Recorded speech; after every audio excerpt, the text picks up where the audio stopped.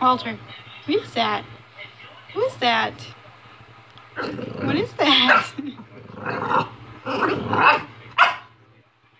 what is that up there? Uh-huh.